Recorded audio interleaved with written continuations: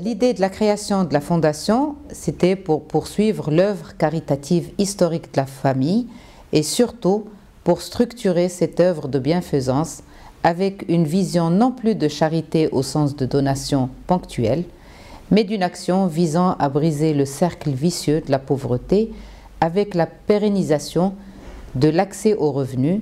Et cette image de ne pas donner un poisson à un pauvre, mais lui apprendre le pêcher. Pourquoi le nom de la fondation Ababou?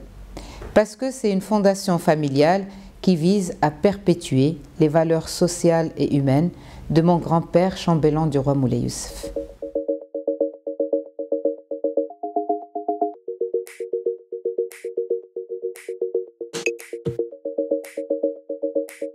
On travaille avec la jeunesse parce que la plus grande ressource de notre royaume, avec des valeurs formidables de la famille, de la joie, de la bonne humeur, et cette dynamique-là, il faut la booster en tirant le meilleur qui ne peut pas être gâché par les conditions sociales de naissance, par des parcours d'échecs. Bref, des obstacles tels que l'échec scolaire, le chômage. C'est pourquoi notre cheval de bataille, c'est le coaching, toujours le coaching, pour transformer l'échec en opportunité et des jeunes désorientés en acteurs économiques et sociaux. Quant aux femmes, comment ne pas travailler avec elles? Elle représente 50% de la population nationale et donc 50% du potentiel socio-économique. Elle porte la lourde responsabilité de par le rôle de maman de l'éducation. Leur contribution financière dans le foyer va à la scolarité des enfants et va aux soins de santé. La femme, la maman, est économe, résiliente et créative. Par ailleurs, beaucoup trop de femmes continuent à subir toutes les formes de violence basées sur le genre.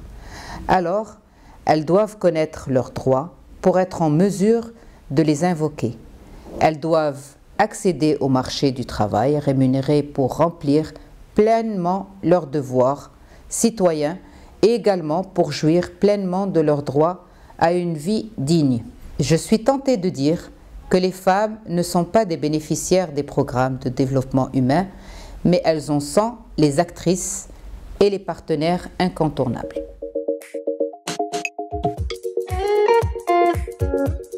En termes de bénéficiaires, ce sont 200 bénéficiaires par an, soit en 12 ans, quasi 2400 jeunes femmes et jeunes hommes qui ont bénéficié d'au moins un programme de développement en éducation-formation, en entrepreneuriat ou encore en insertion professionnelle. En termes de programme, les réalisations majeures sont un centre de formation par apprentissage, CFA, un incubateur social, une trentaine de projets portés par les bénéficiaires et un taux d'insertion professionnelle les trois dernières années de 75%. En termes de plaidoyer, une campagne contre le harcèlement des femmes dans l'espace public et plus globalement contre la violence basée sur le genre, mais aussi une large campagne pour l'égalité professionnelle femmes-hommes.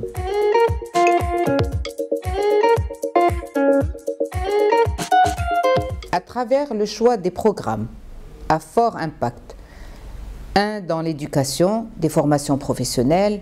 Deux, dans l'autonomisation économique des jeunes et femmes. On a un incubateur win-win avec deux parcours, l'un en entrepreneuriat et l'autre en employabilité. Et euh, troisième point, c'est surtout le développement personnel des bénéficiaires, les life skills, la confiance en soi, etc. Globalement, notre action s'inscrit dans le développement des compétences professionnelles des jeunes, mais surtout dans le renforcement des compétences personnelles à travers le coaching. C'est ainsi que les jeunes arrivent sur le marché avec des profils employables au niveau professionnel, renforcement des stages, des formations, etc. Et au niveau personnel, des jeunes plus confiants, plus motivés, avec les bons codes du monde du travail. Pour suivre toute l'actualité d'EcoActu.humain, inscrivez-vous sur notre chaîne YouTube et rejoignez notre communauté sur Facebook et sur les autres réseaux sociaux.